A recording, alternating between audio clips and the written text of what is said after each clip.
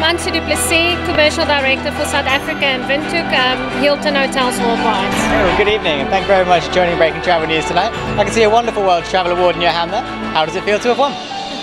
It's really fantastic and it's really great that we um, see that um, the hard work done by the team members are recognized and after all, um, guest satisfaction is the most rewarding um, achievement for us. And do you think winning at the World Travel Awards will help you develop your marketing and your Ladies branding of the properties?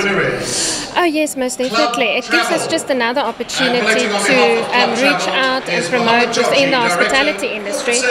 And being recognised for the fifth um, year, um, it just shows that we consecutively um, deliver on great hospitality. Congratulations. Thank you for talking. Thank you.